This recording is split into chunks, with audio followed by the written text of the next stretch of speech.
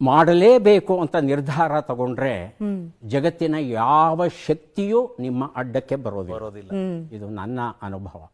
ತಡ ಆಗಬಹುದು. ನೀವು ನಿರೀಕ್ಷಿಸಿದ ಕೂಡಲೇ ಆಗೋಲ್ಲ. ತಡ ಆಗಬಹುದು. ಆದರೆ ಹಾಗೆ ಆಗುತ್ತೆ. ಹಾಗೆ ಆಗುತ್ತೆ.